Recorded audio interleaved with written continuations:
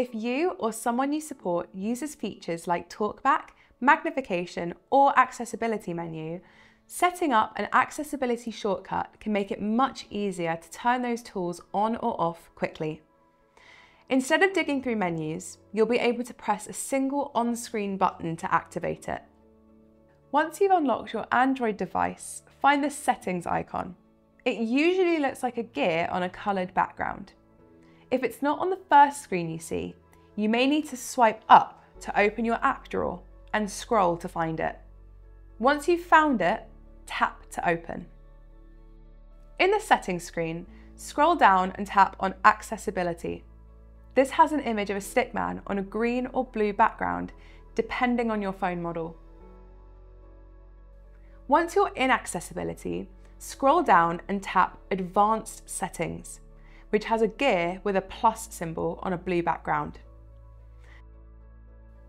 Tap the setting called Accessibility button. Now, tap Select Actions and choose which features you want to turn on with the shortcut. Some common options are Talkback for screen reading, Magnifier to use the camera as a digital magnifying glass, Magnification for zooming in on the screen, and colour filter if you need better contrast or colour filters. Tap the features you want and then press the back button in the top left-hand corner. You can then choose how you'd like the accessibility shortcut to appear. You can choose to have it as a button on the navigation bar, which will appear in the bottom right corner, or floating over other apps as a dock, which can be moved around to your preference like this. The appearance can be adjusted too, such as changing the opacity and size of the symbols.